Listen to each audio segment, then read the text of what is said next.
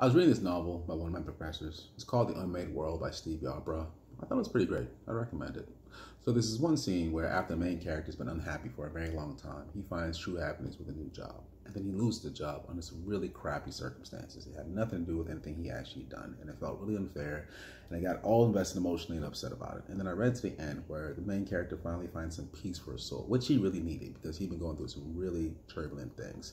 And I realized he wouldn't have been able to find that peace if he hadn't lost that really good job, which reminded me of a joke. So there's this worm who climbs up from underground looking for some food. He goes squirming along the field, ends up under a cow. The cow poops on him. Now he's stuck in a cow pie.